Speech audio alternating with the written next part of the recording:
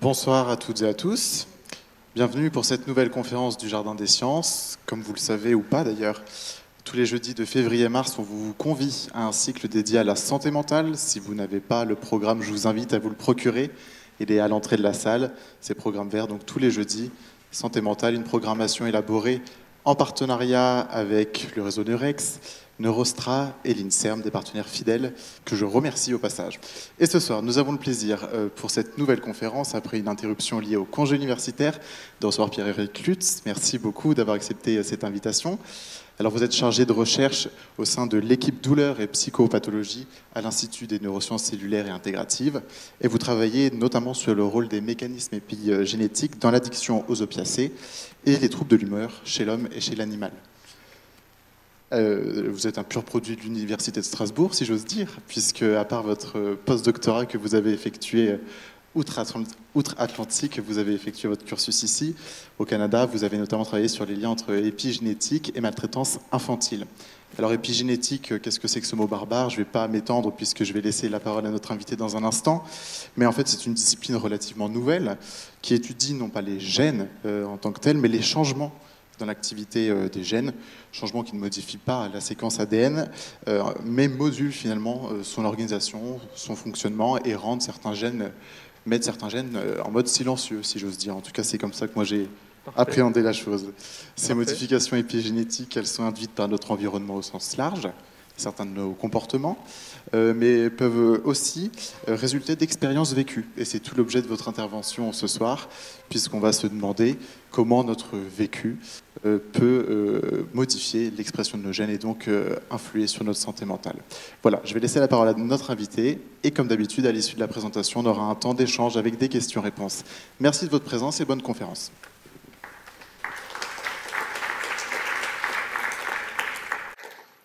Bien, euh, bonsoir à tous. Est-ce que tout le monde m'entend euh, correctement? Oui Donc euh, bah, d'abord, je vais remercier les organisateurs pour avoir donné l'occasion de discuter de notre travail ce soir. C'est un plaisir d'être avec vous. Donc comme ça a été dit, je travaille au CNRS, à l'Institut des neurosciences cellulaires et intégratives de Strasbourg. Et puis je vais vous parler d'épigénétique et de santé mentale. Alors d'abord un mot sur notre institut. Donc on est une unité propre de recherche du CNRS. On travaille en partenariat avec l'Université de Strasbourg. On a environ 130 personnes dans l'institut qui travaillent sur différentes thématiques que je vous ai listées ici. Donc il y a euh. Certaines équipes travaillent sur euh, la manière dont les neurones constituent des réseaux entre eux et communiquent. Euh, d'autres équipes vont s'intéresser au rythme biologique, à l'alternance jour-nuit, à la manière dont la rétine perçoit la lumière et contribue à la régulation de ces cycles, ou encore euh, aux pathologies qui sont associées euh, à ces phénomènes. Il y a également beaucoup de, personnes, de chercheurs dans l'équipe, dans l'Institut, qui travaillent sur la douleur, qu'elle soit aiguë, donc les, les, processus qui permettent de percevoir des stimuli douloureux, ou sur plutôt les conséquences à long terme de la douleur chronique. Et puis enfin, de façon plus récente, dans l'Institut, on a des gens qui travaillent sur la santé mentale et la psychopathologie, ce qui est mon cas et ce dont je vais parler euh, ce soir. Donc, je vous ai mis ici euh, mon adresse mail si vous avez des questions ou si vous voulez me contacter, euh, mon compte Twitter, celui de l'Institut, et puis le site de l'Institut où il y a plein d'infos sur, sur ce qu'on fait, les projets, etc. N'hésitez pas à m'interrompre si vous avez des questions, s'il y a des choses où je ne suis pas très clair, si vous avez besoin de davantage d'informations. Donc ça, c'est une petite organisation de la présentation. Donc je parlerai d'abord de la santé mentale avec vraiment quelques brèves généralités. Ensuite, je parlerai d'épigénétique avec des tentatives de définition de, ce que le terme recouvre, euh, une petite notion d'historique et puis quelques concepts. Et puis ensuite, euh, euh, j'essaierai de vous illustrer comment l'épigénétique peut nous permettre de comprendre les effets d'expérience de vie sur la santé mentale avec des études chez l'animal et puis des études chez l'homme. Euh, ensuite, je passerai par quelques considérations peut-être un peu plus pointues, mais qui sont plus générales et qui sont à mon avis intéressantes sur différents types de mémoire épigénétique.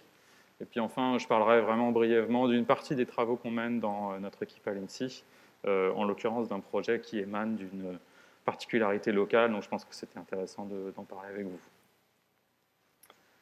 Alors, qu'est-ce que c'est que la santé mentale? Donc, Moi, je ne suis pas psychiatre, hein, mais c'est vraiment juste des généralités. Euh, donc la santé, c'est la vie dans le silence des organes. Donc, euh, en fait, la manière de définir la santé mentale, c'est de la définir par rapport à ce que sont les maladies mentales, de manière négative. Les maladies mentales, c'est un ensemble d'affections qui entraînent des difficultés dans la vie d'un individu ou de son entourage, avec, euh, sur le plan clinique, une souffrance significative et des conséquences avec des troubles émotionnels et des modifications anormales du comportement. Donc on connaît tous les grandes pathologies psychiatriques, la dépression, l'addiction, dont je ne vais pas rentrer dans des descriptions cliniques ou sémiologiques de ces affections, parce que ce n'est pas le but de la présentation. Mais je voudrais juste souligner deux points qui, à mon avis, sont importants. Le premier, c'est que ce sont des maladies du cerveau, donc au même titre qu'une euh, euh, insuffisance cardiaque provient euh, du fait que le cœur n'est plus capable de se contracter de façon efficace, ou que par exemple un diabète vient, pour certaines formes de diabète, d'une insuffisance de sécrétion d'insuline, eh bien de la même manière, pour le cerveau, les pathologies psychiatriques viennent de modifications anormales du fonctionnement des cellules qui constituent cet organe. Donc ça, je pense que c'est vraiment important. mais quand on a dit ça, euh, ça veut évidemment absolument pas dire que euh, les causes biologiques sont les seuls facteurs qui contribuent euh, aux pathologies psychiatriques, à la maladie mentale. Donc ça, c'est aussi quelque chose qui est très connu, très intuitif. Donc il y a évidemment des, déterminants sociologiques, culturels, économiques qui contribuent à l'émergence de maladies mentales. Il y a aussi des facteurs environnementaux dont je vais un peu plus parler aujourd'hui. Deuxième point, c'est que ce sont des maladies extrêmement fréquentes euh, c'est vraiment à la louche, hein, ça varie selon les études, mais on peut considérer qu'environ une personne sur quatre au cours de sa vie va être concernée. Avec par exemple pour la schizophrénie, euh, un peu moins de 1% des, des, gens qui sont euh, diagnostiqués comme schizophrènes. Et puis, un autre exemple, c'est vraiment juste des exemples, pour l'épisode dépressif caractérisé, vous avez à peu près 10 à 15% de chances de faire un épisode au cours de la vie. De risque plutôt. Euh, la deuxième chose que je voulais euh, euh, essayer de faire, là, c'est de situer l'épigénétique dans le champ des disciplines qui étudient le fonctionnement du cerveau et le comportement humain. Et ce que, la raison pour laquelle je voulais, voulais faire ça, c'est que j'ai eu l'impression que dans la manière dont l'épigénétique est retranscrite dans le débat public ou dans la presse généraliste, il y a parfois un discours qui consiste à faire croire qu'éventuellement c'est une discipline qui pourrait être porteuse d'un message particulièrement original euh, ou différent pour la compréhension euh, du fonctionnement du cerveau et des pathologies psychiatriques. Et euh, à titre personnel, je, voudrais m'inscrire un peu en faux par rapport à cette notion. je pense qu'on est tous focalisés sur un niveau d'analyse d'une problématique qui est très complexe. il me semble qu'on a tous des choses à dire intéressantes sur ce sujet-là. Et donc ici, ce que j'ai représenté, c'est le fait que euh, certaines personnes vont travailler sur, euh, à l'échelle de l'organisme, c'est-à-dire pour essayer de comprendre le comportement humain et puis éventuellement ses manifestations pathologiques. Donc ça, ce sont par exemple les cliniciens ou des gens qui travaillent sur des modèles comportementaux chez l'animal. Euh, si on, se place à l'échelle de l'organe, vous avez des gens qui travaillent sur essayer de comprendre l'architecture du cerveau, comment ces milliards de cellules vont communiquer les unes avec les autres pour former des réseaux et comment ces réseaux fonctionnent. Donc là, on utilise par exemple l'imagerie cérébrale. Si on zoome un peu encore en termes d'échelle d'analyse, on arrive à l'échelle cellulaire. Vous avez ici une représentation un peu stylisée avec deux neurones, dont l'un qui émet un prolongement qu'on appelle un axone, qui va contacter un autre neurone et euh, former ce qu'on appelle des synapses, qui sont donc les endroits où un neurone va libérer des substances qui vont agir sur le neurone suivant et puis modifier ses propriétés. Euh, et vous savez également que les neurones sont des cellules excitables, donc qui sont capables de former des potentiels d'action, donc des courants électriques qui propagent euh, l'information. Donc ici, euh, les gens qui travaillent sur ce niveau-là sont des gens qui, font de l'électrophysiologie, qui travaillent sur la caractérisation de cette activité électrique, ou des biologistes cellulaires, par exemple, euh, qui vont essayer de comprendre comment des cellules sont capables de former ces longs prolongements, que ce soit sur le plan mécanique ou sur le plan des processus moléculaires qui sous-tendent ces prolongements. Et donc si vous zoomez encore, on arrive à l'échelle moléculaire. Donc ça, c'est ce dont je vais parler aujourd'hui. Donc vous avez ici une représentation d'un noyau d'une cellule, qui est la partie de la cellule où se trouve le matériel génétique. Et donc cet ADN, le matériel génétique, euh, donne euh, l'ARN messager, qui est le, transmetteur entre l'information génétique et les protéines, qui sont elles responsables des fonctions euh, enzymatiques et cellulaires. Et donc le message ici de cette diapo, c'est de dire que quand vous avez une manifestation anormale, une perturbation anormale du comportement, une maladie mentale, vous avez des modifications qui se propagent à tous ces niveaux et qui toutes contribuent euh, à l'anomalie comportementale que vous caractérisez. Et donc l'épigénétique n'est qu'un niveau d'analyse de cette thématique. Alors maintenant, je vais rentrer un peu dans le vif du sujet. Donc, l'épigénétique, évidemment, concerne le génome. donc, le génome, c'est une structure en double litre. Tout le monde a vu cette représentation. avec deux brins qui sont complémentaires, qui portent la même information génétique, qui est constitué de quatre lettres. Donc, c'est un alphabet à quatre lettres, ACGT. Euh, ces lettres étant le support de l'information génétique, c'est-à-dire que les successions de ces lettres codent pour les protéines. Ça, c'est la théorie, euh, le dogme de la biologie moléculaire.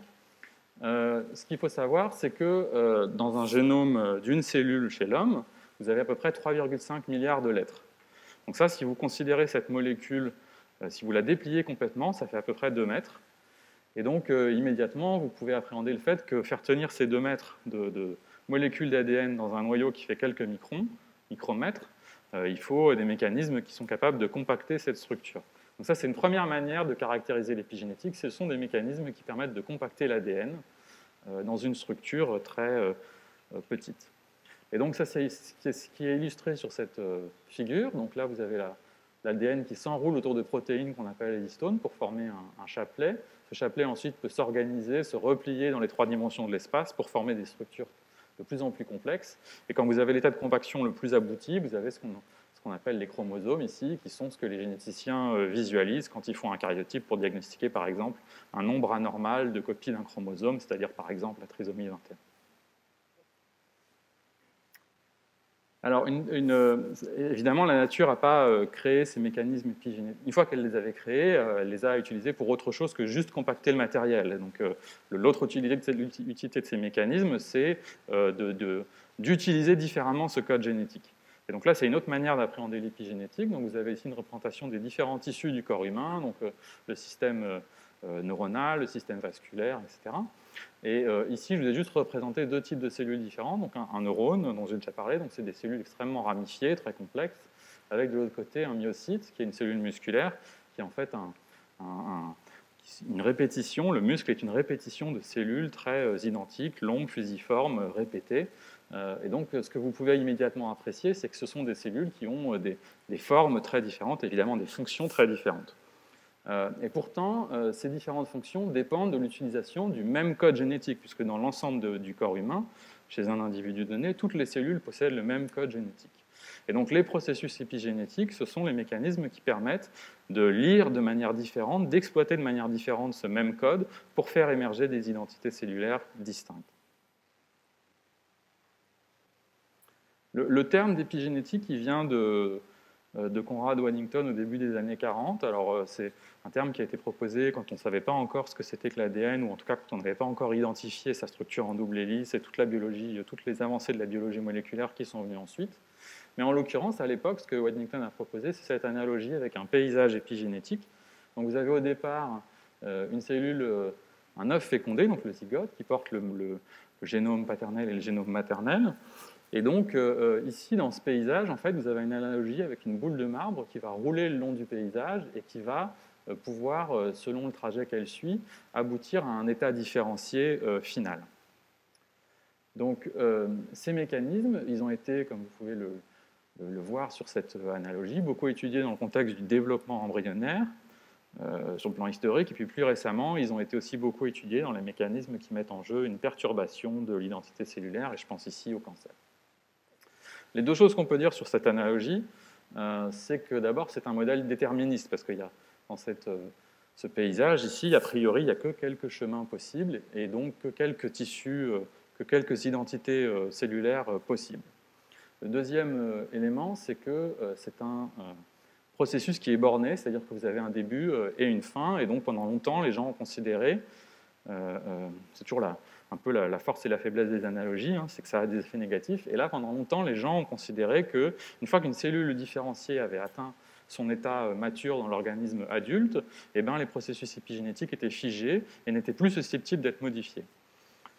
Euh, et en fait, un des apports euh, des, des travaux récents en épigénétique, c'est de remettre en question cette vision et de considérer qu'en fait, non, même chez un organisme adulte, en particulier dans le tissu cérébral, vous avez une certaine forme de plasticité épigénétique qui persiste. Et donc, c'est ce que je vais vous illustrer. Alors, je partirai de, modèles euh, animaux euh, qui sont des modèles dans lesquels, sur plan expérimental, on peut contrôler assez bien les conditions et faire des attributions de relations de cause à effet un peu plus robustes que dans des études chez l'homme qui sont toujours plus complexes. et en l'occurrence, je vais vous présenter quelques études du groupe de Michael Mini, qui est un groupe à Montréal qui a joué un, rôle important sur le plan épistémologique dans le, dans toute cette émergence d'une épigénétique comportementale. Et donc, ce sont des gens qui travaillent chez le rat euh, et qui euh, euh, caractérisent notamment le comportement maternel chez le rat.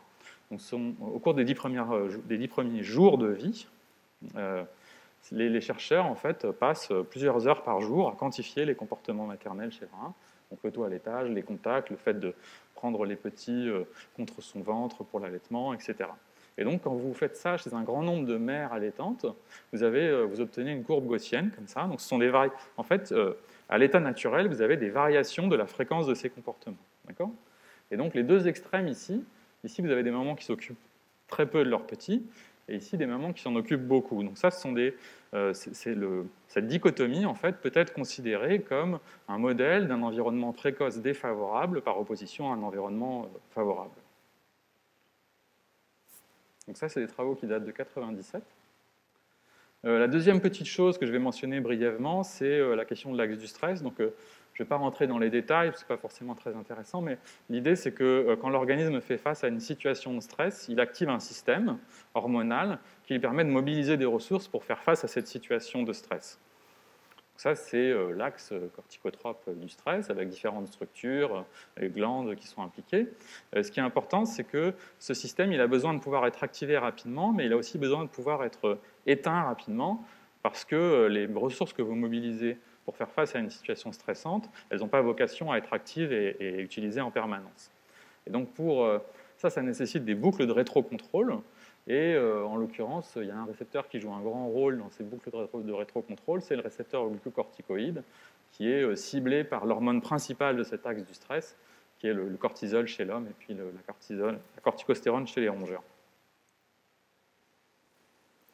Et donc, euh, dans cette équipe, ce qu'ils ont fait, c'est de poser la question de savoir si les, les, variations, si le, la qualité de l'environnement précoce pouvait avoir un impact à long terme sur la sensibilité au stress. Donc pour faire ça, ils ont regardé des rats adultes qui ont été élevés soit par les mères entre guillemets défavorables, soit par les mères entre guillemets favorables.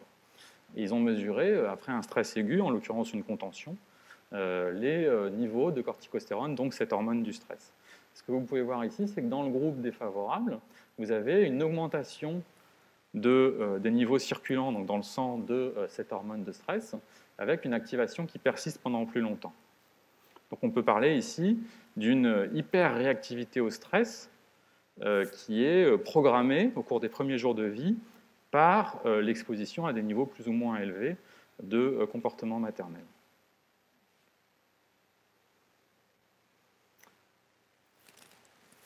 Alors, ce qu'ils ont fait dans cette équipe aussi, c'est de euh, caractériser euh, une éventuelle transmission de ces niveaux de comportement maternel. Et ce qu'ils ont remarqué, c'est que les, les rates adultes qui ont été élevées quand elles étaient petites par des mères qui expriment peu de comportement maternel ben, vont faire de même à l'âge adulte. Alors que, inversement, les rates adultes euh, qui présentent euh, des niveaux élevés de ces comportements, euh, en général, viennent de mères qui elles-mêmes présentaient des niveaux élevés de comportement. Donc on a ici une forme de transmission à travers les générations. Quand on est biologiste ou, généticien, quand on voit ce type de résultat, la première hypothèse, c'est de penser qu'en fait, ce que les chercheurs ont fait quand ils ont fait leur distribution gaussienne et séparé les deux extrêmes, c'est simplement sélectionner des animaux qui présentent des variations génétiques dans les gènes qui sont responsables pour l'expression de ces comportements maternels. Donc ça, ce serait l'hypothèse d'une simple ségrégation génétique qu'on aurait sélectionnée sur le plan phénotypique. Et donc, comme ce sont des gènes, naturellement, ils sont transmis, et donc le comportement se transmet également. Dans ce modèle-là, cette hypothèse, on peut la tester de manière expérimentale très simple en faisant des études d'adoption.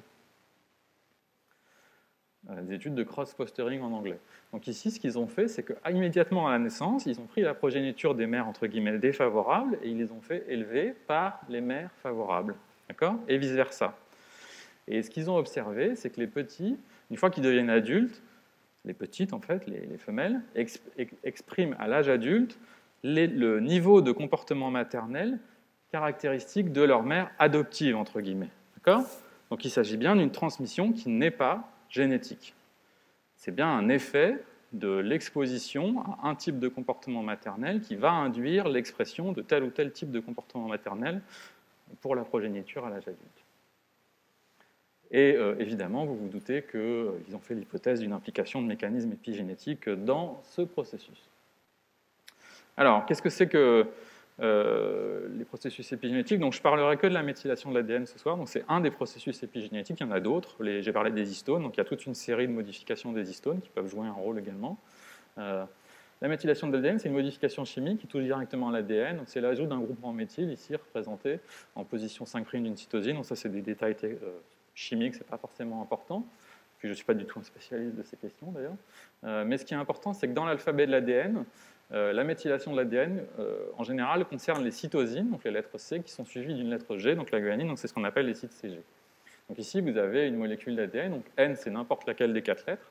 Vous avez deux, sites CG, l'un qui est méthylé en bleu et l'autre qui ne l'est pas en noir.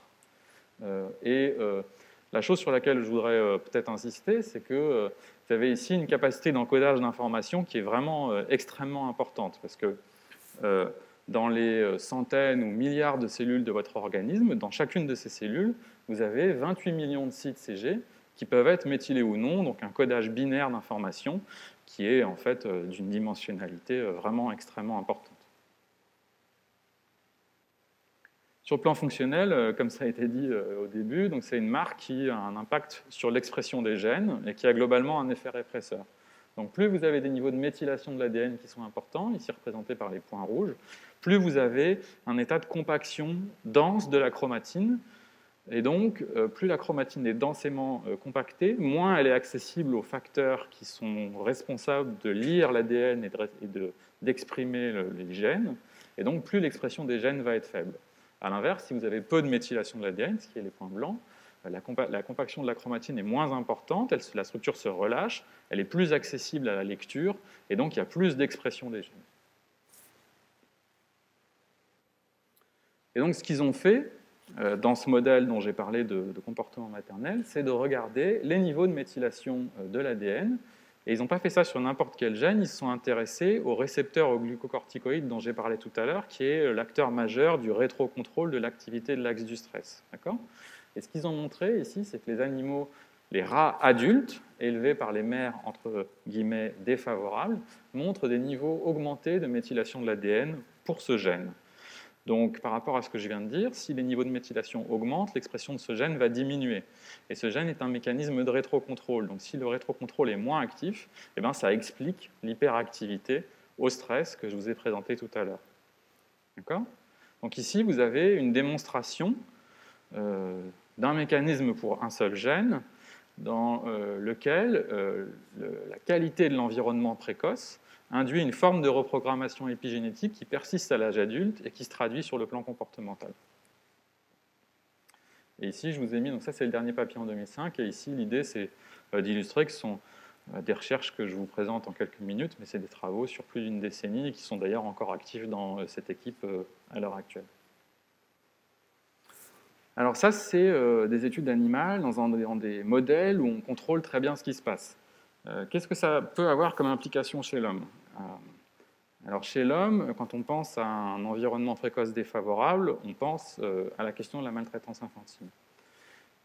et ici, je vais peut-être enfoncer des portes ouvertes, mais je pense que c'est difficile de surestimer l'importance de cette question. donc la, la, maltraitance est une question qui, touche entre 5 à 15% de la population. c'est sans doute un chiffre qui est sous-estimé pour des raisons assez évidentes. Hein. Euh, et euh, qui touche euh, tous les enfants, quel que soit leur âge ou leur milieu socio-économique, qui est le plus souvent perpétré par les parents ou les, proches qui s'occupent des enfants, qui surtout a des conséquences absolument profondes sur le devenir des individus qui sont affectés, avec par exemple une augmentation du risque de comportement criminel, une augmentation de l'échec scolaire, du chômage, de, de l'emprisonnement, etc. Donc ça, c'est des choses qui sont extrêmement bien documentées sur le plan épidémiologique sur des énormes séries d'individus. Et euh, sur le plan médical, une augmentation du risque d'obésité, des maladies cardiovasculaires euh, notamment. Et sur le plan euh, psychiatrique, ce qui nous occupe aujourd'hui, ce qui a été montré de façon aussi très très claire maintenant, à la fois par des études prospectives et rétrospectives, c'est que la maltraitance a des effets importants sur le risque de développer une pathologie mentale à l'âge adulte. Et ça, c'est vrai pour une liste extrêmement longue. J'ai mis ici l'addiction, la dépression, mais c'est vrai aussi pour le trouble bipolaire. Donc les, dans, dans la la population des patients bipolaires, par exemple, ceux qui ont un antécédent de maltraitance, ont tendance à faire plus d'épisodes thymiques, c'est-à-dire qu'ils font plus d'épisodes maniaques, ils sont hyperactifs, ils font n'importe quoi, et ils font plus d'épisodes dépressifs aussi. Et ils sont moins sensibles aux effets des traitements thymorégulateurs, donc ils sont moins sensibles aux médicaments qu'on leur donne pour essayer de limiter ces fluctuations de l'humeur. Et euh, c'est également associé à un risque augmenté de comportement suicidaire euh, et de décès par suicide Ok, donc sur le plan théorique, euh, un des défis ici, c'est euh, de comprendre comment des, expériences de vie qui surviennent au cours des premières années de la vie peuvent avoir des conséquences euh, aussi retardées et profondes, parfois 10, 15 ou 20 ans plus tard.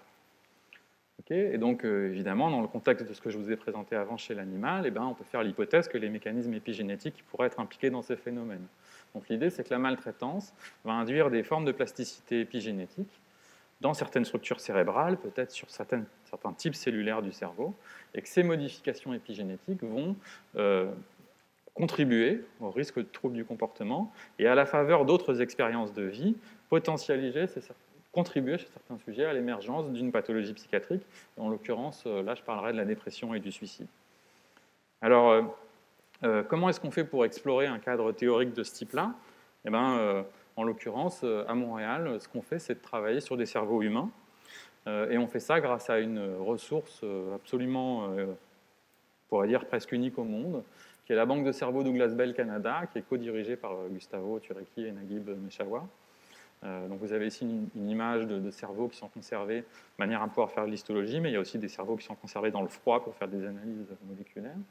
Et ce qui fait le, caractère vraiment euh, exceptionnel de cette banque, ce n'est pas uniquement d'avoir accès aux tissus cérébraux, c'est aussi d'avoir accès à une grande quantité d'informations sur la vie des gens qui sont recueillies par une équipe de psychologues, de psychiatres, qui, après le décès d'une personne, vont euh, rencontrer ses proches et essayer de retracer sa vie.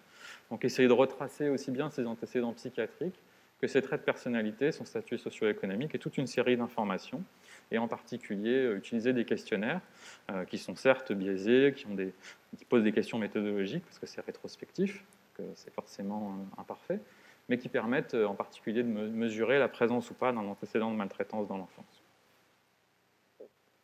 Donc ici, ce que je vais faire, c'est que pour illustrer cet aspect-là, je vais vous présenter assez rapidement une des études que j'ai menées lors de mon postdoctorat dans cette équipe.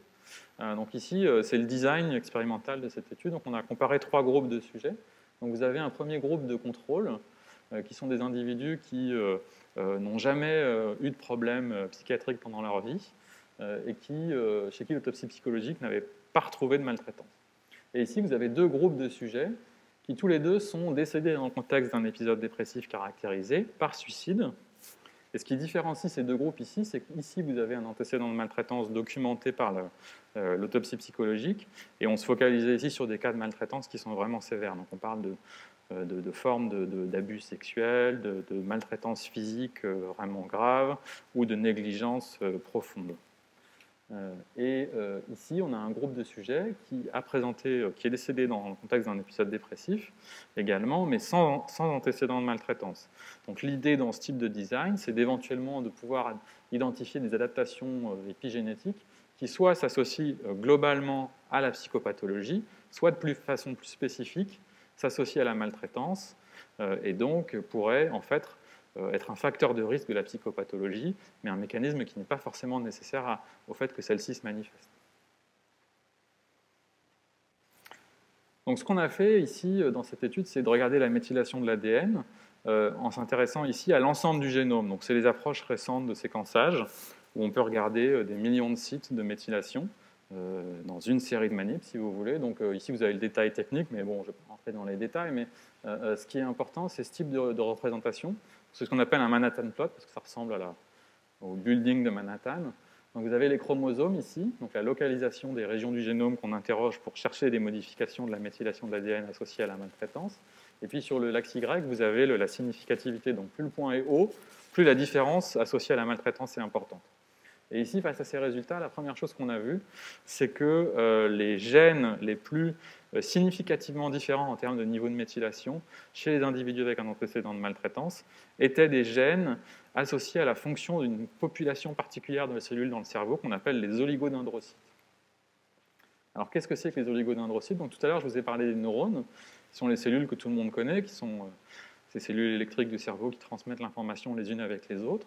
Euh, qui ont été pendant longtemps euh, beaucoup plus étudiées que les autres types de cellules dans le cerveau, mais en fait la fonction de ces cellules est extrêmement dépendante sur une autre population, qui sont les oligodendrocytes, qui sont des cellules gliales, qui vont former des gaines isolantes autour des axones, qui permettent d'optimiser la vitesse de conduction, de, transmission de cette information électrique.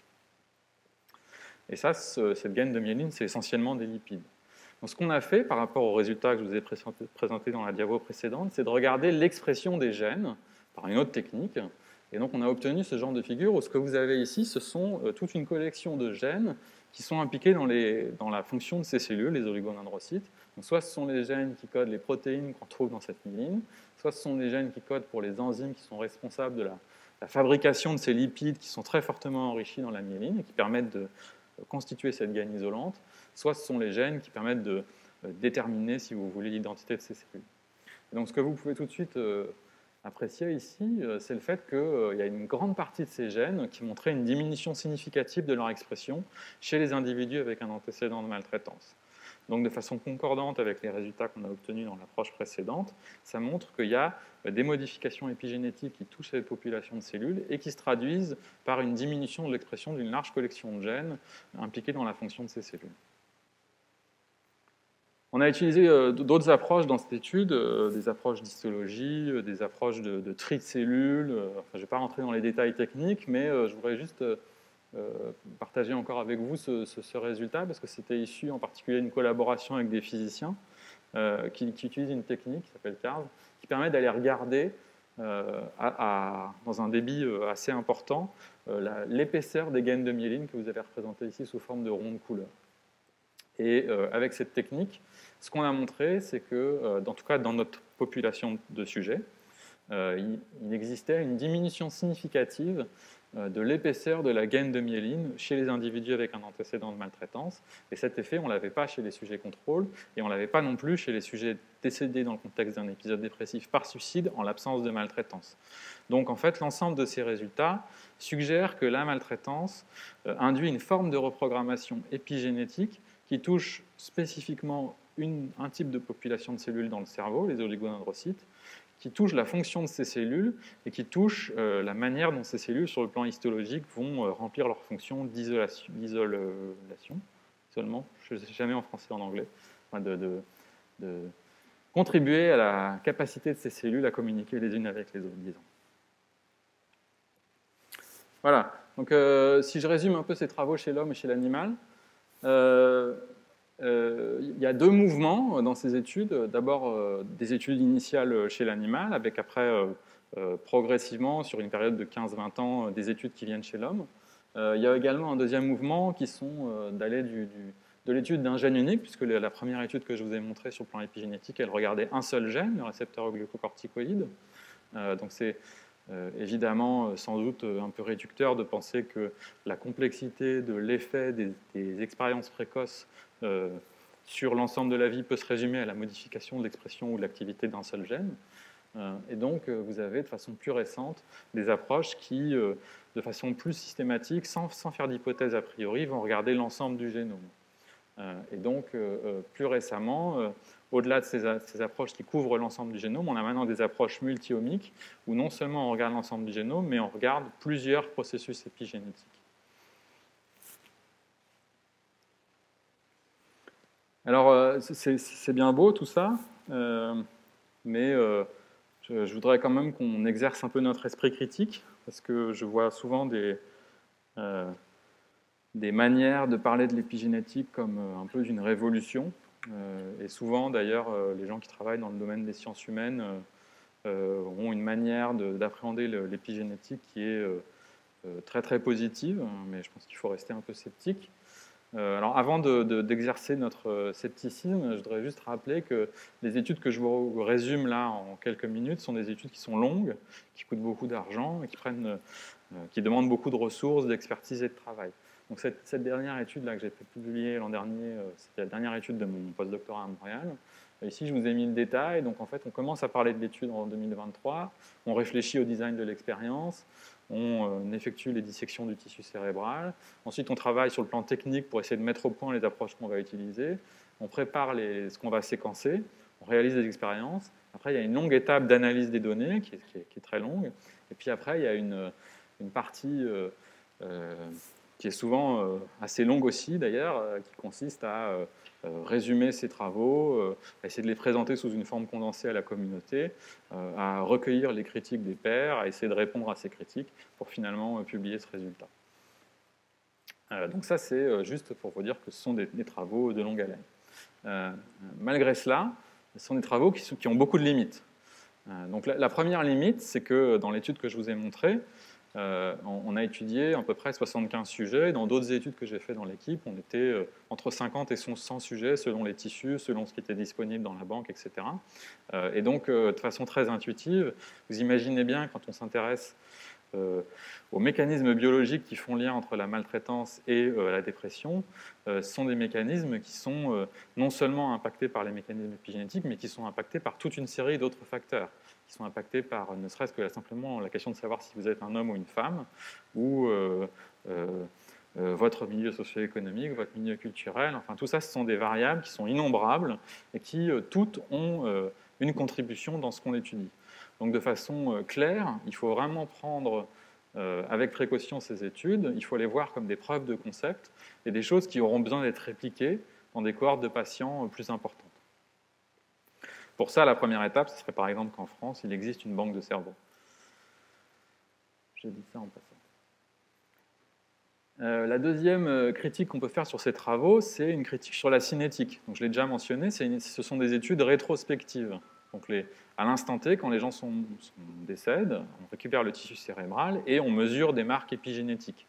Euh, comme je l'ai déjà discuté euh, plusieurs fois, euh, ce sont des patients qui ont fait l'hypothèse qu'au moment de la, maltraitance se produisent des modifications des effets neurobiologiques, que ces modifications ensuite vont interagir avec les expériences de vie au cours de l'enfance, au cours de l'âge adulte, et que ces modifications contribuent à l'émergence d'une pathologie et ensuite à une crise suicidaire qui est en elle-même un élément qui probablement a des corrélats euh, euh, biologiques.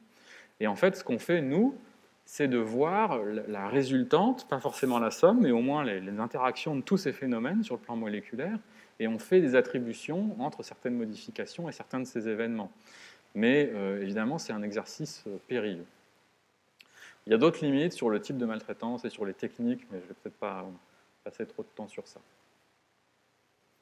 Donc si on revient sur l'analogie du paysage épigénétique, donc ce que j'ai euh, expliqué au départ, c'est que euh, dans le modèle de Waddington, on a quelque chose de très déterministe, de borné. Euh, ce que j'ai essayé de faire, c'est de vous montrer que les études plus récentes en épigénétique dite comportementale suggèrent qu'en fait, plutôt que ce paysage avec un début et une fin, on a plutôt une toile avec des haubans comme ça, qui seraient éventuellement modulés par les expériences de vie et qui viennent à la faveur de ces mouvements modifier l'identité cellulaire qui est représentée par ces différentes billes. donc on a ici un processus qui est sans doute beaucoup plus dynamique et réversible, en particulier sous l'effet des expériences de vie négatives, donc ça c'est ce que j'ai euh, abondamment illustré, aussi probablement sous l'effet d'expériences de vie positives, donc il y a maintenant des, travaux plutôt en modèle animaux où il y a des choses par exemple liées à l'enrichissement environnemental chez le rongeur qui montrent qu'il y a des modifications et des corrélats épigénétiques.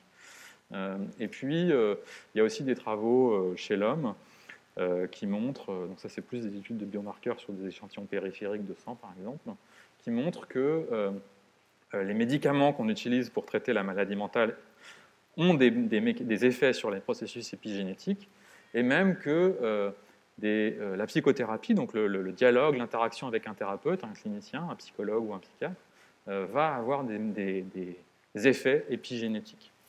Même imaginer que, euh, euh, par exemple, la méditation, euh, dont certains ont montré qu'elle a des effets, par exemple, sur les propriétés électrophysiologiques des neurones, aurait probablement des effets épigénétiques également.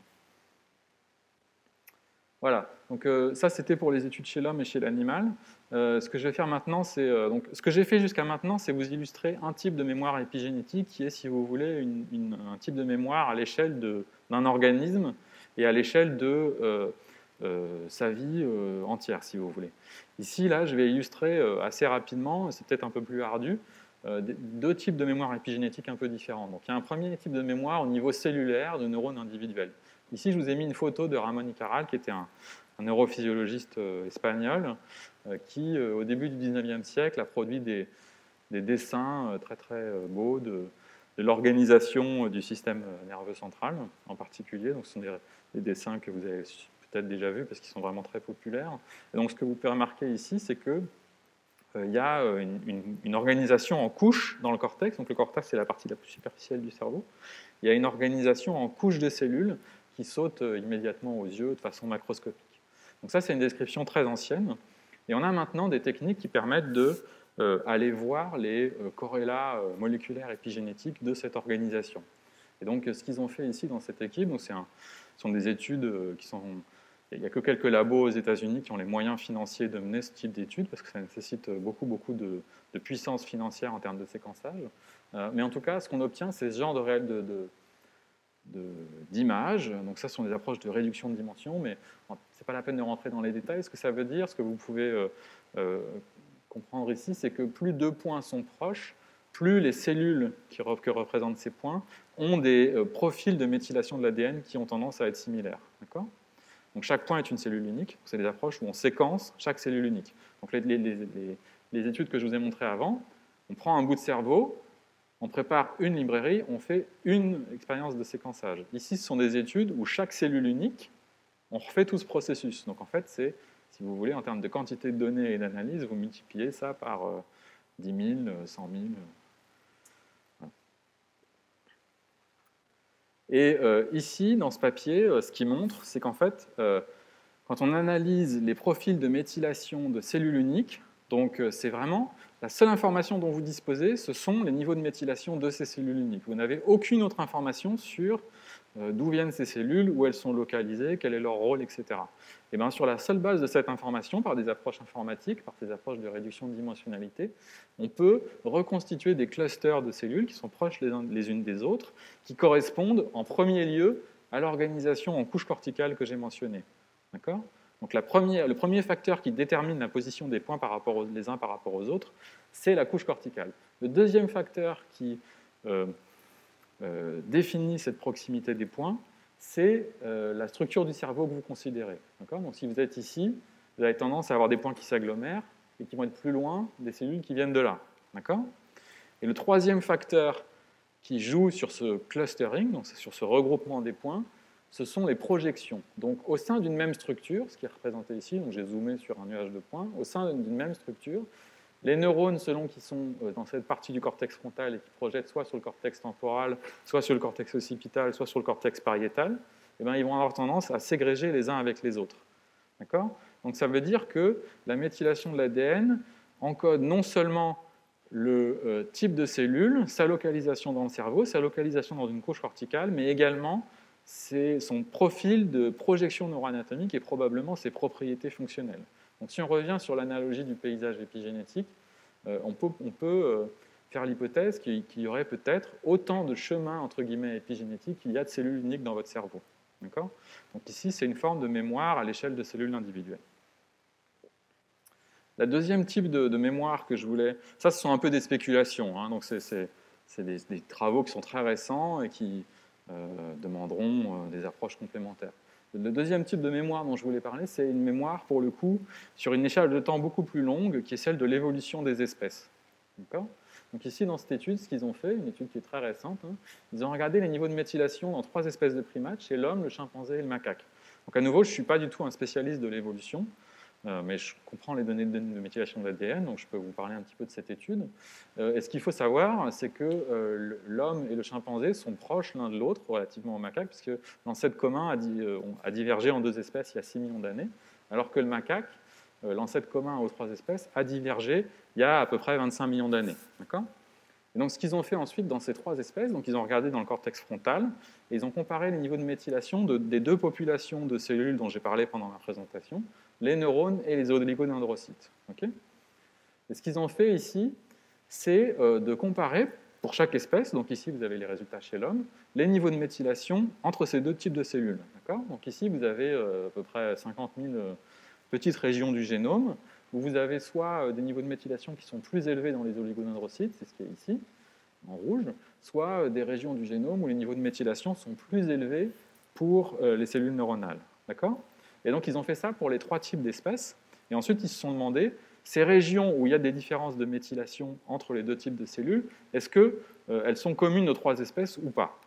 Et donc c'est ce qui est représenté ici. Donc ici à gauche, là, la moitié de ces régions, elles sont présentes à l'identique dans les trois espèces de primates. Donc ça, ça veut dire que ces différences épigénétiques, en fait, sur le plan évolutif, elles ont émergé avant euh, la, différenciation de ces espèces. D'accord? De la même manière, ici, entre l'homme et le chimpanzé, vous avez à peu près un quart des, régions. Ça, ce sont des régions qui ont, euh, euh, émergé entre les types cellulaires après la divergence de la troisième espèce de macaque, mais qui sont communes à ces deux espèces. Et ensuite, la dernière euh, série de régions, ici, sont des régions du génome qui sont, pour lesquelles les différences de méthylation entre neurones et oligodendrocytes ne sont retrouvées que chez l'homme. Donc ce sont les plus récentes sur le plan évolutif. C'est des différences de méthylation entre les types cellulaires que vous n'avez pas dans les deux, autres espèces de primates. Et le dernier résultat de ce papier, qui je trouve est vraiment un peu passionnant, euh, qui pose des, questions vraiment euh, importantes, c'est qu'ils ont regardé ces régions du génome, est-ce qu'elles sont enrichies en variation de la séquence de l'ADN, donc là on ne parle plus d'épigénétique, de la séquence d'ADN, donc des petits polymorphismes, des petites modifications des lettres, dont on sait qu'elles augmentent le risque de pathologie psychiatrique. D'accord? Ça, ce sont des données issues de grandes, grandes études sur des énormes collections de cohortes de patients. Et donc, ce que vous avez ici dans les carrés rouges que j'ai mis en, évidence, euh, à nouveau sans rentrer dans les, trop les détails statistiques de cette analyse, mais c'est que fait, ces régions génomiques qui sont spécifiques, retrouvées uniquement chez l'homme, sont aussi des régions qui ont tendance à être enrichies pour euh, des formes de, pour, ces polymorphismes génétiques qui contribuent au risque de maladie mentale. Donc si je résume un peu euh, cette étude, c'est l'idée que, euh, en fait, avec l'étude euh, des modifications épigénétiques sur le temps long de l'évolution des espèces, ici on est capable d'abord de retracer en fait les mécanismes, les différences sur le plan épigénétique qui vraisemblablement sont soit la cause, soit la conséquence des mécanismes qui euh, permettent l'émergence d'espèces différentes. Mais surtout ici, pour ce qui est de l'homme, on a des résultats qui suggèrent que vous avez des régions du génome où il y a des modifications épigénétiques qui sont vraisemblablement impliquées à la fois dans euh, le fait qu'on a des capacités cognitives qui sont peut-être quantitativement un peu distinctes de celles des autres espèces de primates, et qui sont en même temps impliquées dans le fait qu'il euh, ben, y a des pathologies mentales chez l'homme et que pour l'instant, ça n'a pas été diagnostiqué encore chez le chimpanzé et le macaque.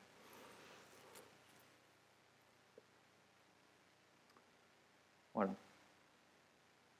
Euh, donc ça, c'est ce que je voulais vous dire euh, sur euh, ces aspects un peu plus spéculatifs sur la méthylation de l'ADN.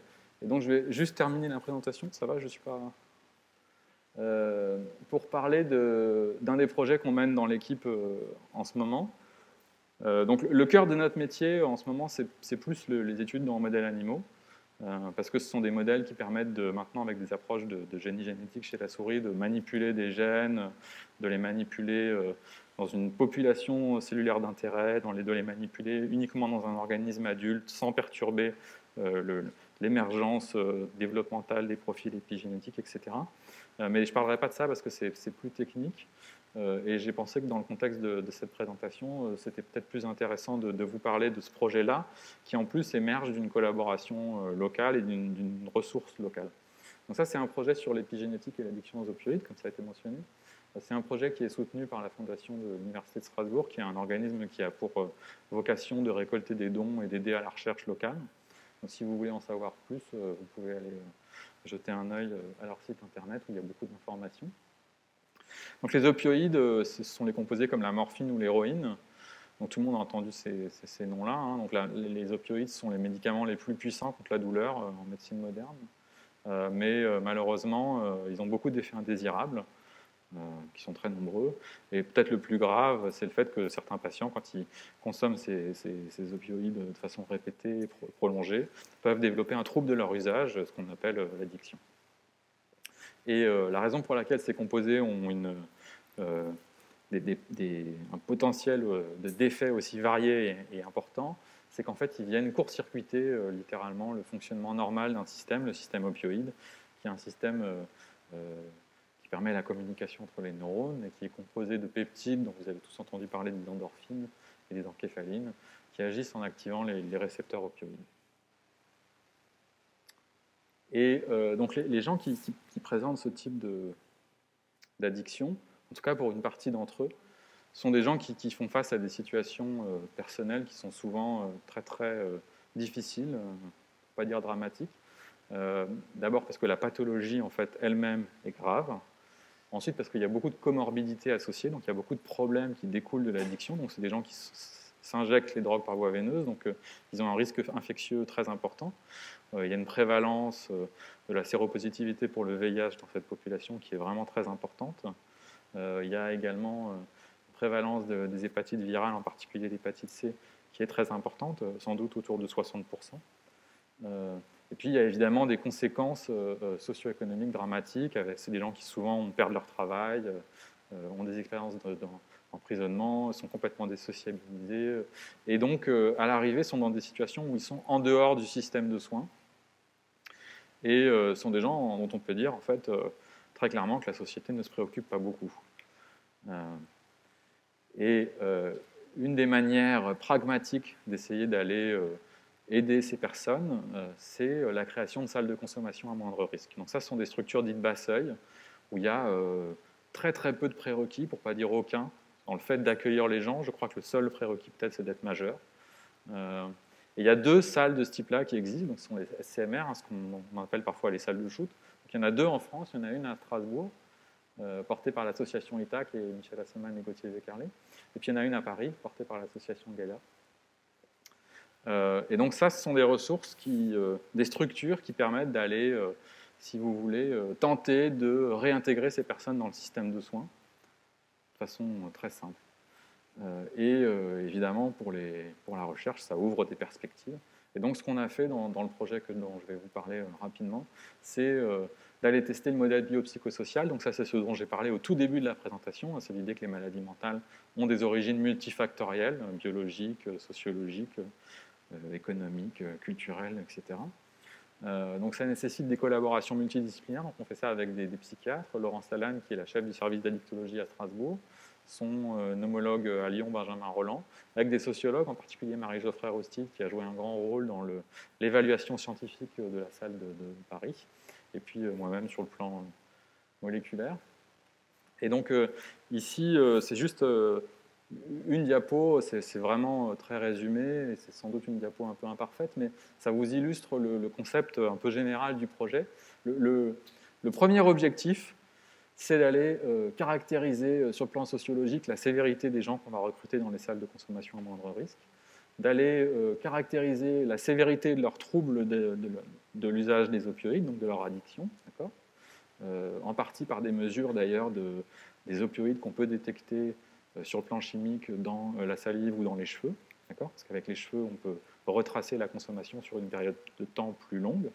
Euh, et grâce à la collaboration avec les psychiatres, aborder également la sévérité des comorbidités, donc des autres pathologies psychiatriques présentées par ces patients, en particulier des troubles anxieux ou dépressifs.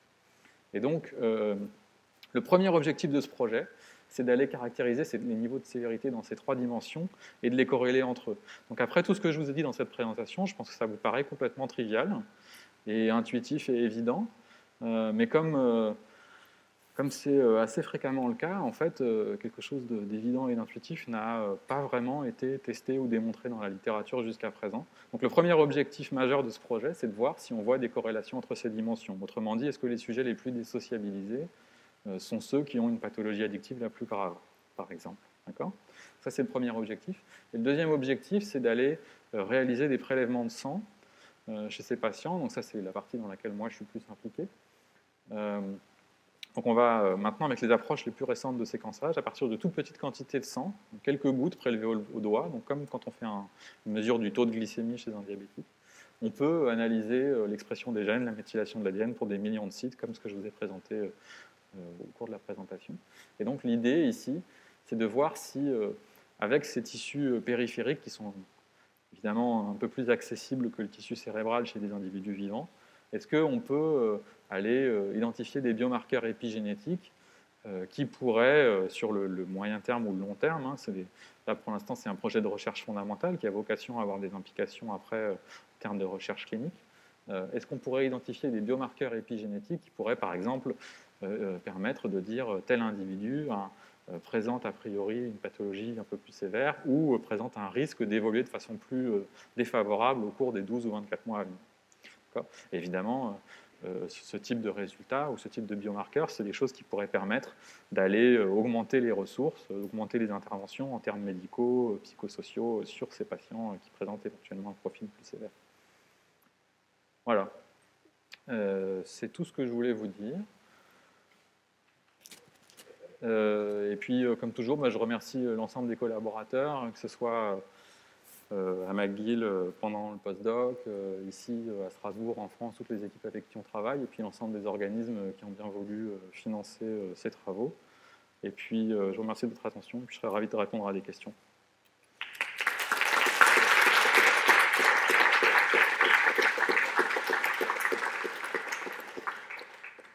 Merci beaucoup pour cette euh, présentation. On va maintenant effectivement aborder le temps des questions et des échanges avec la salle. Vous me faites signe et j'arrive et je vous passe le micro pour que vous puissiez rebondir sur ce qui vient d'être dit.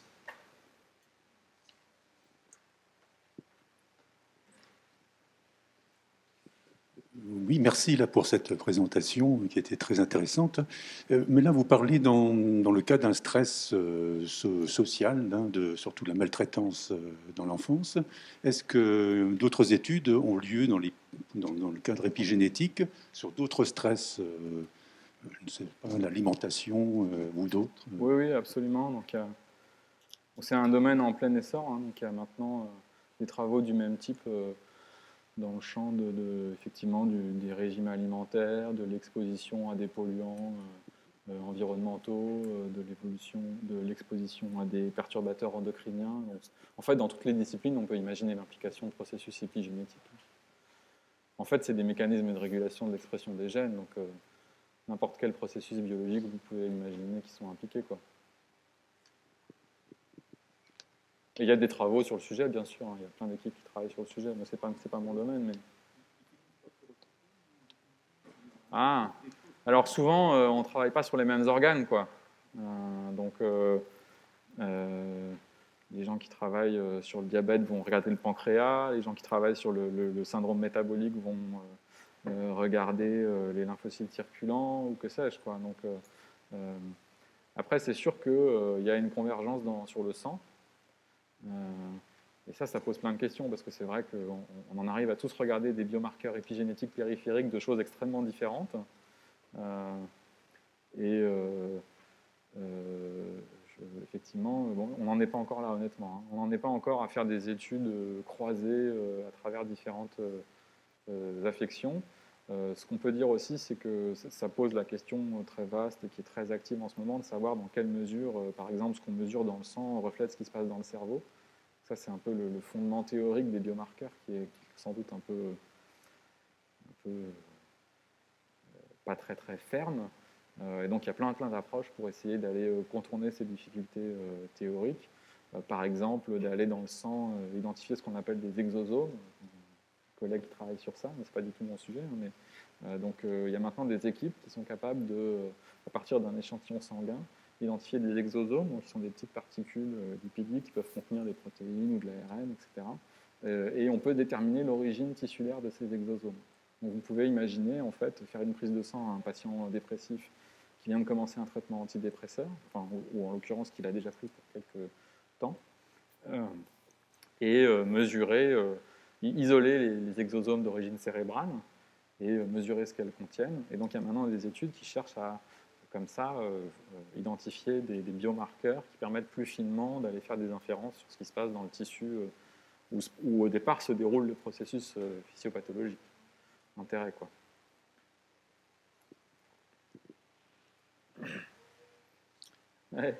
Merci beaucoup, Pierre-Éric. Euh, moi, j'avais deux, niveaux de questions, une euh, très biologique et, moléculaire. Est-ce qu'on a une idée de, quel est le contrôle en amont euh, des activations des voies de méthylation qui, aboutissent de la maltraitance infantile à l'augmentation de cette activité de méthylation? Ouais. Alors, sur le plan moléculaire, on connaît bien les, voies de méthylation des méthylations. Donc, ça, c'est des gènes qui sont bien identifiés, les méthyltransférases, les DNA méthyltransférases pour ce qui est de la méthylation, et puis les têtes, les têtes, il est 10-11 translocation enzyme pour la déméthylation. Euh, donc ça, sur le plan moléculaire, on le connaît bien. Après, euh, ta question, je pense, c'est plus euh, sur le plan conceptuel, comment tu vas de la maltraitance à une modification épigénétique. Donc ça, c'est une question... Quand, quand, je travaillais à Montréal, dans l'équipe, il y avait une anthropologue qui s'intéressait en partie à comment on interagissait entre nous et comment on formait nos concepts et on les, on les, on les challengeait, et qui travaillait aussi sur, sur le plan épistémologique, comment exactement sur le, type de questions que tu poses. Et je dois dire que j'ai toujours été bien incapable de lui répondre de manière convaincante, mais là, on est dans, en fait, ta question, c'est quelle est la fonction du système nerveux central Et la fonction du système nerveux central, c'est un organe dont la spécialisation fonctionnelle sur le plan évolutif est d'être capable de réagir aux modifications environnementales. Donc euh, sur le plan de la survie d'un organisme, par exemple, ça fait du sens d'avoir des processus qui permettent d'adapter tes réponses comportementales à ton environnement. Si on revient sur l'exemple des comportements maternels chez le rat, je l'ai présenté de façon défavorable, mais euh, on pourrait dire que le fait de, pour un animal qui est exposé à un environnement plus hostile avec une mère qui est moins maternelle, entre guillemets, ça peut avoir un sens adaptatif d'être hypersensible au stress et d'avoir une capacité plus grande à réagir aux expériences de vie stressantes. Donc là, euh, on rentre dans des questions, euh, à mon avis, compliquées sur dans quelle mesure c'est adaptatif, pathologique. Et, en tout cas, les mécanismes intermédiaires, bah, c'est tous les mécanismes de perception sensorielle du système nerveux central. Enfin, c'est le fonctionnement lui-même du cerveau. Quoi. Ça, ça répond à ta question. Et là, tu mentionnais euh, justement ces études chez les animaux. Est-ce qu'on a une idée de la durée de ces marques épigénétiques euh, Donc, c'est clairement établi de, de, l'état euh, jeune à, Est-ce qu'il y a une transmission intergénérationnelle Quelle est la durée de transmission, de potentiellement de transmission de ces marques épigénétiques Alors, c'est des travaux sur, la cinétique elle-même de ces modifications. Il n'y a pas tellement de choses. sur la transmission intergénérationnelle, alors ça c'est encore pire hein, parce que c'est donc chez les chez, des organismes, chez les plantes, ou chez les, chez les ou chez la drosophile, il y a des, quand même des données un peu robustes de transmission intergénérationnelle. Dans les, chez les organismes sexués, euh, comme les mammifères par exemple, hein, euh, au moment de la gamétogénèse, au moment de la méiose, il y a un effacement euh, assez large du, des profils épigénétiques. donc, a priori, ça c'est quand même un gros obstacle à la transmission, en tout cas sur le plan moléculaire. Euh, mais euh, cet euh, effacement, il n'est pas total. Il y a des régions qui ne sont pas totalement déprogrammées, en fait. Donc c'est tout à fait possible. Mais je ne connais pas de résultats vraiment convaincants de, mécanismes de transmission par les gamètes d'une modification épigénétique. Mais ça n'empêche pas des modes de transmission non moléculaires, en fait. Hein. la transmission dont j'ai parlé chez le rat, c'est une transmission comportementale, mais qui a des effets épigénétiques. J'avais une dernière question euh, rapide sur la banque de cerveau. J'étais assez curieux de savoir comment est-ce qu'elle a pu être constituée, parce que j'imagine qu'il n'y a pas eu de consentement au préalable pour la conservation des cerveaux des gens euh, suicidaires et suicidés. Et qu'est-ce qui fait qu'on ne peut pas constituer ce style de banque de cerveau en France alors que c'est possible euh, au Canada? Voilà, je ne suis, pas forcément la bonne personne pour répondre à ça. Sur, sur, pourquoi la Banque de cerveau de Montréal existe, je pense que c'est parce qu'à un moment donné, il y a eu des gens qui ont eu qui, ont consacré leur vie à créer cette structure. Euh, euh, je sais que j'ai des collaborateurs à Paris, un, collègue euh, psychiatre à Sainte-Anne, me disait qu'il y, a, quelque temps, ils ont envisagé de se lancer là-dedans, et quand ils ont réalisé le, chemin de croix que ça allait être sur le plan réglementaire, éthique, etc., en fait, ils se sont rendus compte que c'était quelque chose dans lequel, un, effort dans lequel ils n'allaient pas s'engager. Et encore récemment, je participais à une table ronde de, de, l'Institut de recherche en santé publique qui porte, qui est un organisme qui centralise l'argent issu des taxes sur toutes les drogues, que ce soit le tabac, l'alcool, etc., qui finance beaucoup la recherche en addictologie. Et, et, je leur j'ai, essayé de défendre l'idée qu'il fallait qu'on investisse aussi dans ce type de structure euh, à l'échelle nationale. Mais bon, euh, je suis vraiment une petite chose pour porter ce genre de message.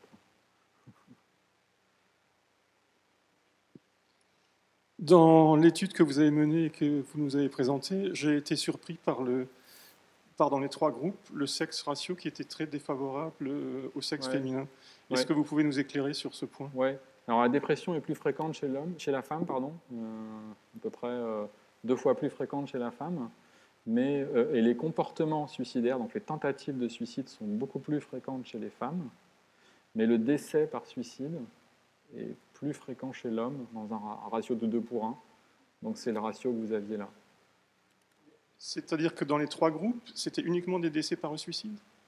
Non, non, que dans les deux groupes de, de sujets avec antécédents de psychopathologie. Mais le groupe de sujets contrôle, on le match pour le ratio de sexe. Quoi. On ne va pas faire un groupe contrôle où il y aurait euh, autant d'hommes que de femmes, alors que dans les groupes K, il y a beaucoup plus d'hommes. Quoi. Donc le, pour le troisième groupe, on match. Quoi. Donc on fait la même proportion de deux tiers, un tiers d'hommes. Et d'ailleurs, euh, euh, j'en ai pas du tout parlé là, mais dans, dans l'équipe chez l'animal, ce qu'on fait en ce moment, c'est de regarder dans quelle mesure l'exposition aux opioïdes euh, perturbe le méthylome, donc la méthylation de l'ADN, et on a fait ça de façon hyper contrôlée chez des souris mâles et des souris femelles. Et euh, le résultat euh, majeur pour l'instant, c'est que en fait, les effets épigénétiques sont extrêmement différents chez les mâles et les femelles. Donc, ce qui explique ce sexe ratio, c'est l'épidémiologie des pathologies. Pardon? Ce qui explique ce sexe ratio, c'est l'épidémiologie des pathologies que vous citez. Bah, un sexe ratio, par définition, c'est une donnée épidémiologique. Euh, vous parlez du sexe ratio du suicide? Euh, des, des sex ratios dans les trois groupes que vous nous avez présentés. Votre question, c'est pourquoi il y a un sexe ratio? Pourquoi il y a un sexe ratio qui est ah. aussi défavorable au, sexe féminin? Ah bah ça, euh, je, personne ne sait, je pense. Hein. Donc, ce qui est sûr, c'est que le, cerveau féminin est différent du cerveau masculin. pourquoi il y a plus de symptômes dépressifs chez la femme que chez l'homme? Ça, c'est une question euh, on aura peut-être la réponse dans 50 ans. Mais non, ça, c'est pas l'objet de ma question. L'objet de ma question, c'était le sexe ratio dans les, dans les trois groupes. Donc ça, c'est dû à votre échantillonnage? Oui, le, fait qu'on ait, ait, plus d'hommes, c'est parce que la, la, banque recrute par le suicide. D'accord? Donc par définition, les cas de suicide sont pour deux tiers des hommes, un tiers des femmes. Et donc ensuite, on constitue un groupe contrôle où on a le même, la même proportion d'hommes et de femmes, donc deux tiers d'hommes et un tiers de femmes. Mais là, ce n'était pas deux, tiers, un tiers, si je me souviens bien, c'était l'ordre de 20 et de, et de, et de, et de 7. Oui. Dans les trois groupes. Oui, enfin 75%, 70%, 65% selon les études, oui. Là, je vous parle du sexe ratio en général. Pour cette étude, euh, c'est les chiffres que vous avez vus, ouais. oui. Merci. Merci. Est-ce qu'il y a d'autres questions dans la salle?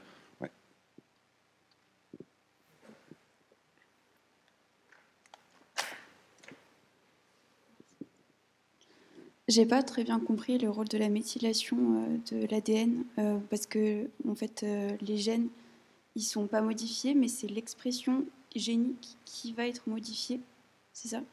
C'est ça, oui. Donc l'épigénétique sont des traits transmissibles qui ne sont pas portés par une modification de la séquence de l'ADN. C'est la définition stricto sensu. donc ce sont des mécanismes euh, c'est exactement ce que vous venez de dire, c'est des mécanismes qui modulent l'expression des gènes, alors que la séquence elle-même reste la même. Euh, mais comment en fait l'expression génique peut induire une pathologie? Alors ça c'est euh, un peu l'idée que j'essayais de défendre au tout début, hein, qui sont que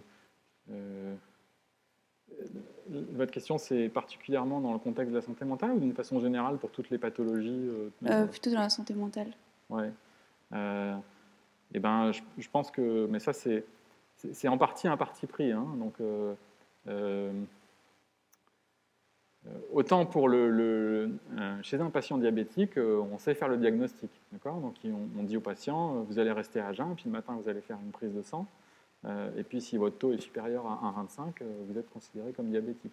On peut mesurer l'hémoglobine glyquée pour dire au cours des trois derniers mois, vous avez eu un déséquilibre diabétique avec en permanence des niveaux de sucre supérieurs à la valeur normale. et donc ça, ce sont des, substrats biologiques qui sont extrêmement bien identifiés, qu'on peut aller euh, interroger de façon fiable et on connaît les mécanismes de modulation de l'expression des gènes impliqués dans ces mécanismes.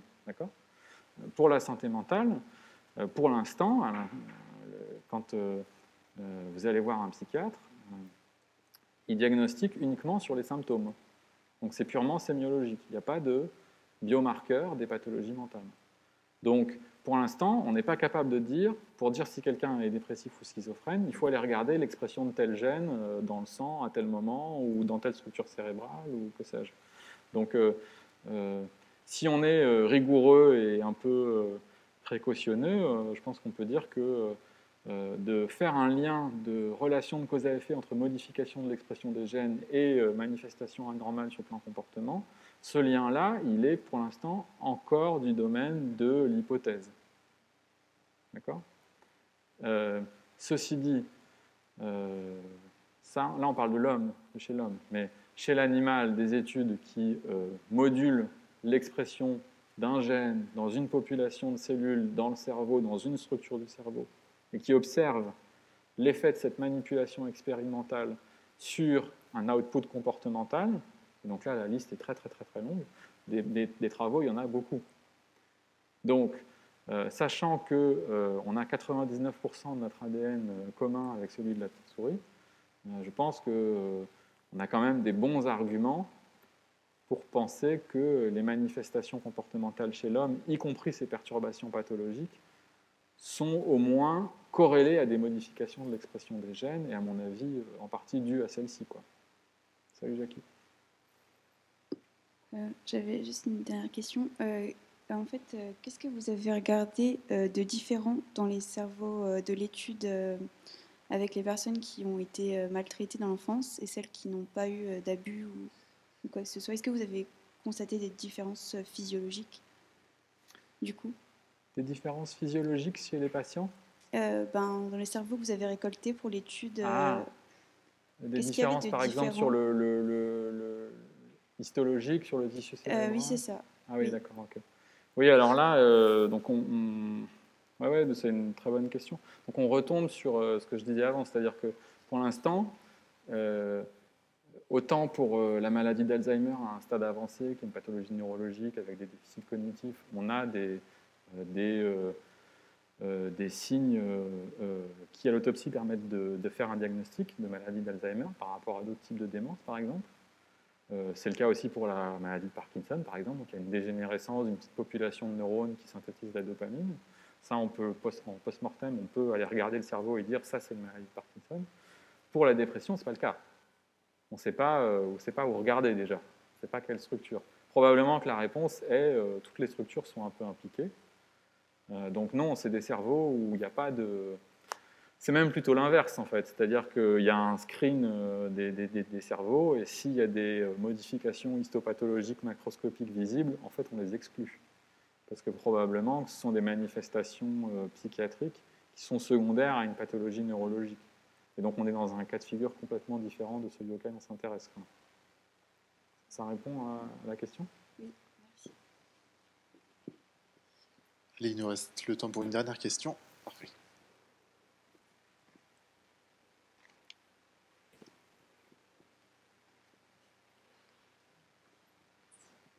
Bonsoir.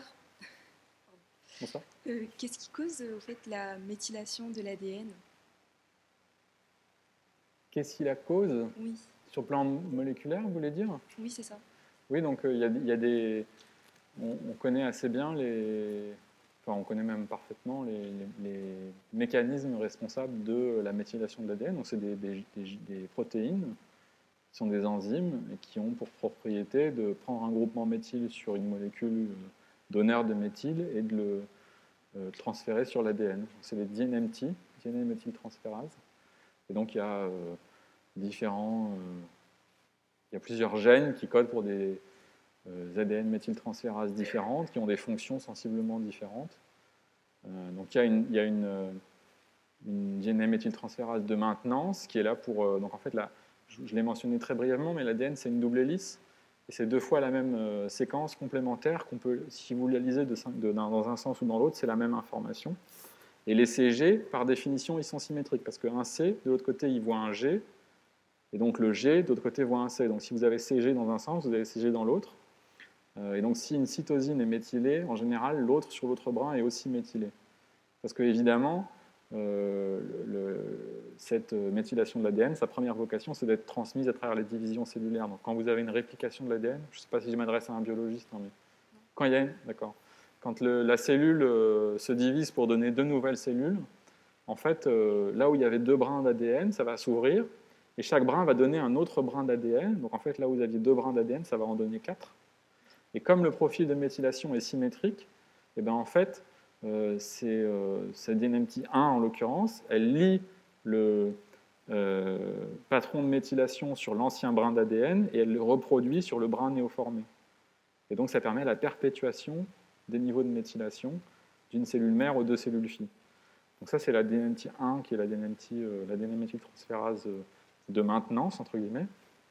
Dans le cerveau, j'en ai pas du tout parlé, mais la grande caractéristique des cellules neuronales, c'est que quand vous naissez, les neurones sont là, et vous aurez exactement les mêmes cellules quand vous serez mort, à l'exception de celles qui seront mortes, hein, des cellules qui vont disparaître. Mais il n'y a pas du tout de division cellulaire. Euh, donc, ce sont des cellules qui, par définition, je vous ai dit avant que l'épigénétique, c'est des caractères transmissibles sans, sans être portés par une modification de la séquence de l'ADN. Les cellules neuronales, par définition, ne se divisent pas. Donc vous pourriez me dire, euh, il n'y a pas d'épigénétique. Je répondrai, c'est plutôt une histoire de terminologie. Mais en tout cas, pour revenir à votre question, dans le cerveau, il y a une DNMT particulière qui est très active, qui s'appelle la DNMT3A. Euh, et euh, en l'occurrence, elle a un profil d'expression qui est extrêmement neurodéveloppemental. Donc elle est très exprimée au moment du développement, elle est très exprimée pendant les premières semaines de vie chez la souris, elle est très exprimée pendant les premières années de la vie chez l'homme, et ensuite elle est moins exprimée, et elle est responsable d'une forme de méthylation particulière, donc j'ai parlé de la méthylation CG, mais il y a une forme de méthylation non CG qui touche les cytosines qui sont suivies par autre chose qu'un G, et cette méthylation-là, elle s'accumule de façon très spécifique uniquement dans le cerveau, et elle n'existe pas dans les autres tissus. Donc en fait, ce que je suis en train de dire, c'est que euh, c'est un tissu qui, parce qu'il est constitué de cellules entre guillemets immortelles, dans le sens où elles se divisent plus, elles auront l'âge que vous aurez quand vous mourrez, elles ont développé, sur le plan non évolutif, hein, à nouveau, des propriétés épigénétiques très très différentes des autres types de tissus dans l'organisme. Et ça, c'est pas quelque chose qui est codé euh, de façon claire dans le génome. C'est-à-dire qu'il n'y a pas dans le génome un endroit qui dit dans le, cerveau, il doit y avoir un, type de méthylation particulière. À mon avis, ce sont des propriétés qui euh, émergent de façon, euh, comment dire, auto-organisatrice. C'est-à-dire que à chaque formation d'un organisme humain, euh, eh ben, euh, l'émergence d'un tissu cérébral, à la, facteur de- à la faveur de son interaction euh, avec son environnement, il fait émerger cette forme de méthylation non CG. Voilà, je, je vais peut-être un peu loin, mais D'accord, très bien. En fait, j'aimerais bien savoir aussi, euh, d'un point de vue extérieur, qu'est-ce qui va causer cette méthylation? Est-ce que c'est plutôt les point de vue extérieur, hein, Oui. euh, ben, on peut imaginer euh, beaucoup de choses. La- votre question, c'est qu'est-ce qui fait le lien entre une expérience de vie et une modification de la méthylation de l'ADN ben, Ça, c'est ce que j'ai essayé de répondre tout à l'heure. En fait, euh, euh, par exemple, un stimuli douloureux, si vous vous brûlez, euh, vous allez activer des terminaisons de nocicepteurs dans la peau qui ont pour fonction de réagir à une chaleur importante, qui vont envoyer un influx nerveux qui va remonter sur les voies sensitives, passer par la moelle, arriver aussi dans le système nerveux central, dans les structures cérébrales qui sont responsables de la perception consciente de la douleur. Et donc à partir du moment où vous avez une chaîne d'événements comme ça, sur le plan neurobiologique, neurophysiologique, où vous recrutez des cellules, eh ben, ces cellules, elles répondent en modulant l'activité des gènes. Et donc, elles, elles- elles utilisent la méthylation de l'ADN pour euh, moduler l'expression de leurs gènes et transmettre cette information, par exemple. Donc là, euh, ça, c'est sur la perception d'un stimulus euh, euh, proprioceptif, nociceptif. Donc ça, c'est des, des, des chaîne d'événements qu'on connaît bien, qu'on a, était capable de décortiquer sur le plan expérimental par toute une série de disciplines aux différents étages que j'ai mentionnés. Pour ce qui est de la maltraitance, euh, évidemment, c'est extraordinairement plus complexe parce que la question, c'est comment une expérience traumatique vient perturber un état cognitif conscient. Donc là, évidemment, j'ai pas la réponse. Quoi. Très bien, merci. Et d'ailleurs, les psychologues ont un message euh, sans doute beaucoup plus élaboré que, que, l'épigénéticien sur une question comme ça. Hein. Un grand merci, Pierre Reclutz, pour votre venue ce soir. Merci.